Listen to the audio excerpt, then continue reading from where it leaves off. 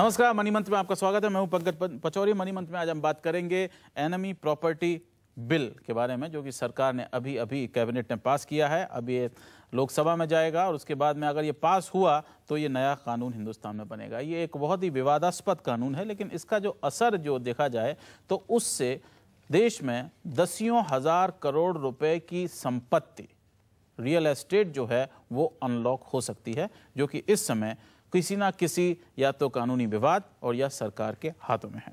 और इसके जड़ में समस्या ये है कि जब ये कानून जो है, वो सरकार ने पहले इस पर एक ऑर्डिनेंस लेके आई थी इसी साल और उस ऑर्डिनेंस के आने के बाद में विवाद ये उठा कि क्योंकि एनमी प्रॉपर्टी वो प्रॉपर्टी है जो कि लोग तकसीम के बाद, विभाजन के बाद पाकिस्तान चले गए हैं, उनकी है तो उनके वारिसों को उसका मालिकाना हक मिले या ना मिले? ये एक बहुत बड़ा मुद्दा इसमें था, जिसमें कि सबसे बड़ा जो हिस्सा था वो लखनऊ में, महमूदाबा महमूदाबाद राजा के वारिस जो हैं, वो भी हमारे साथ में हैं, मोहम्मद आमिर, मोहम्मद खान साहब और लखनऊ से वो हमारे साथ में हैं। यहाँ पर हमारे साथ स्टूडियो में आर बाला शंकर साहब हैं, जो कि एडिटर हैं ऑर्गेनाइज़र रिसाले के अखबार के, और डॉक्टर सैयद कासिम रसूल इलियास हमारे साथ में हैं, जो कि मुस्लिम पर्सनल लॉ बोर्ड के मेंबर हैं। सबसे पहले मैं आपको ये बता दूँ कि कहाँ कहाँ पर सबसे ज़्यादा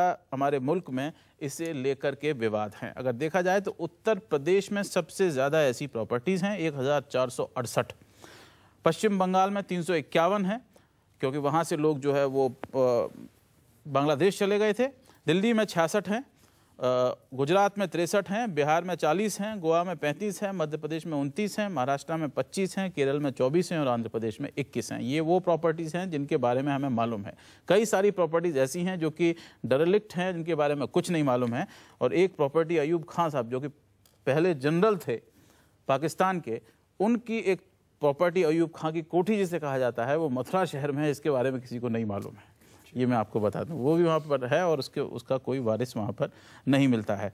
लेकिन इतना बड़े स्तर पर देखा जाए तो इन सब प्रॉपर्टीज़ को अगर मिला लिया जाए तो 2000 ये प्रॉपर्टीज़ हैं और इनकी कुल आज के ज़माने में कीमत पचास हज़ार करोड़ से भी ज़्यादा बताई जाती है।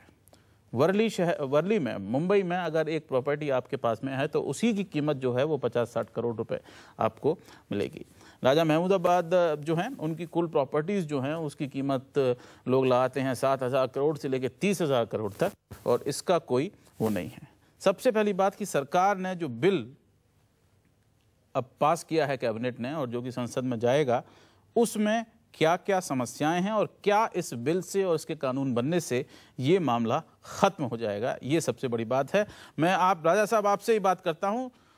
सबसे पहले आप मोहम्मद आमिर साहब कि क्या आपको लगता है कि अब इससे ये विवाद ख़त्म हो जाएगा? साहब पचौरी साहब एक बात मैं कहना चाहता हूँ।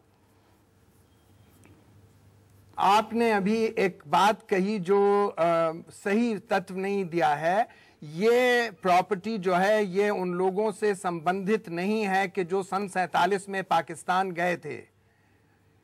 वो जो प्रॉपर्टी थी, वो इवैक्यू प्रॉपर्टी थी, वो सब सन चौवन, पचपन तक के उसका सब अंतिम निर्णय हो गया और उसके बाद उसका कोई ज़िक्र नहीं है।